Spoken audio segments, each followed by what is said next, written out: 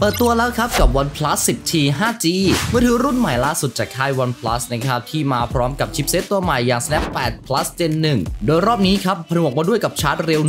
150 วัตต์ เตรียมที่จะเข้าไทยนะครับในช่วงเดือนกันยายนนี้ ส่วนจะมีสเปคหรือว่าจะมีข้อมูลอะไรเกี่ยวกับมือถือรุ่นนี้กันบ้างนนะครับ ก่อนไปรับชมคลิปนี้ก็อย่าลืมกดติดตามและกดกระดิ่ง เพื่อที่จะได้ไม่พลาดคอนเทนต์ใหม่เวลาพวกเราอัปเดตนั่นเองนะครับเมื่อกดแล้วว่าไปรับชมในคลิปนี้พร้อมกันเลยดีกว่าครับกับผม Dream m o l e Up Let's go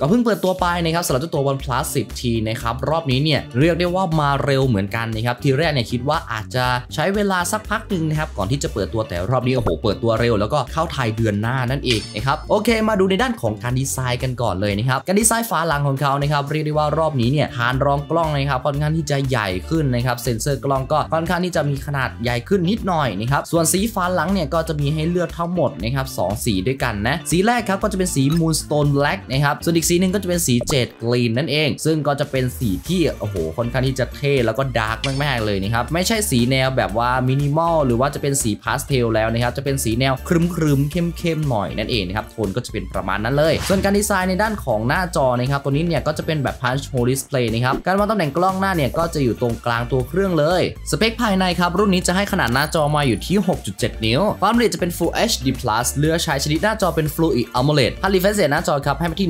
120 Hz แถมยังรองรับ HDR10 Plus อีกด้วยครับ รองรับขอบเขตของสีอยู่ที่ 1 billion colors นั่นเอง น้ำหนักตัวเครื่องครับจะให้มาอยู่ที่ 204 กรัมนะครับ ซึ่งก็ถือว่ากลางๆ ค่อนไปทางหนักนิดหน่อยนะครับถาดใส่ซิมจะเป็นแบบ dual slot นะครับ สามารถใส่ได้ 2 ซิมการ์ด แล้วก็ไม่สามารถเพิ่ม micro SD card ได้ ในด้านของการทำงานครับ รุ่นนี้จะรันมาด้วยกับ Android 12 ครับ ครอบทับมาด้วย Oxygen OS เวอร์ชัน12.1 chipset หรือ CPU ครับ เลือกใช้เป็น Qualcomm Snapdragon 8 Plus Gen 1 Octa Core GPU เลือกใช้เป็น Adreno 730 ในด้านของเรื่องกล้องนะครับจะให้กล้องหลังมา 3 ตัวนะครับเป็นแบบ Triple Camera ตัวเมนหลักเนี่ย50 ล้านพิกเซลครับซึ่งก็จะเป็นเลนส์กันสั่นแบบ OIS อีกด้วยบวกด้วยนะครับกับเลนส์ Ultra Wide 8ล้านพิกเซลแล้วก็เลนส์ Macro อีก 2 ล้านพิกเซลส่วนกล้องหน้าครับให้ความละเอียดมาอยู่ที่ 16 ล้านพิกเซลนั่นเอง สามารถถ่ายวิดีโอสูงสุดได้ที่ 4K 60 frame rate นะครับลำโพงเนี่ยก็จะเป็นแบบลำโพงคู่แบบสเตอริโอนะครับพอร์ตการเชื่อมต่อเป็น USB Type C แจ็คหูฟัง 3.5 โดนตัดออกไปเป็นที่เรียบร้อยแล้ว ในด้านของแบตเตอรี่ครับจะให้ความจุอยู่ที่ 4,800 มิลลิแอมนะครับพร้อมกับชาร์จอีก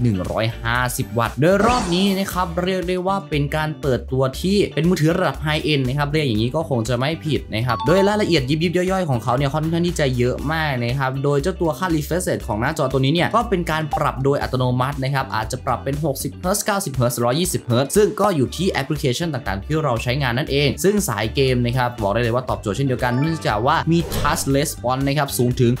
720 Hz อีกด้วยนะครับเรียกได้ว่าโอ้โห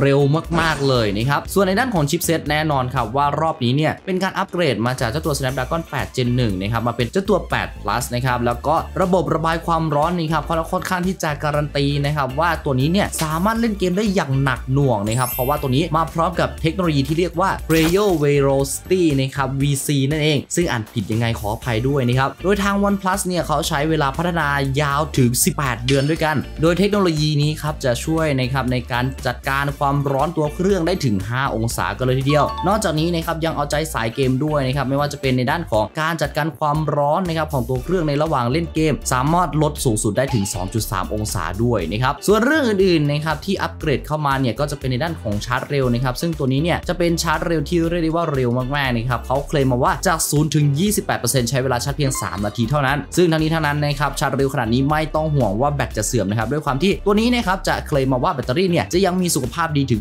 80%หลังจากการชาร์จไป1,600 รอบกันเลยทีเดียวนะครับโอ้โหบอกได้เลยว่าชาร์จไปให้ตายนะครับแบตก็ไม่เสื่อมอย่างแน่นอน ส่วนการใช้งานอื่นๆนะครับทั้งนี้ทั้งนั้นเนี่ยก็ต้องรอดูเครื่องจริงกันดีกว่านะครับเพราะว่าทางผมเองเนี่ยก็ไม่สามารถการันตีได้ว่าจะมีประสิทธิภาพดีอย่างไรนะครับโอเค มาดูในด้านของราคากันบ้างดีกว่านะครับโดยเจ้าตัว OnePlus 10T 5G ตัวนี้จะมีวางจำหน่ายทั้งหมด 2 รุ่นความจุด้วยกันนะครับความจุแรกก็จะเป็น RAM 8 g b ROM 128นะครับราคาจะอยู่ราวๆประมาณ 23,570 กว่าบาทนะครับส่วนอีกความจุหนึ่งก็จะเป็น RAM 16 g b นะครับ Storage 256 ราคาจะอยู่ราวๆประมาณ